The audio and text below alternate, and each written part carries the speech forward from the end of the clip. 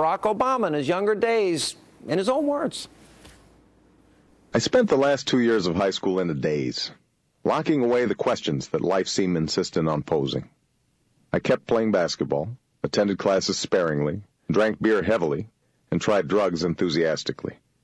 I discovered that it didn't make any difference whether you smoked reefer in the white classmate's sparkling new van, or in the dorm room with some brother you'd met down at the gym, or on the beach with a couple of Hawaiian kids who had dropped out of school and now spent most of their time looking for an excuse to brawl. You know,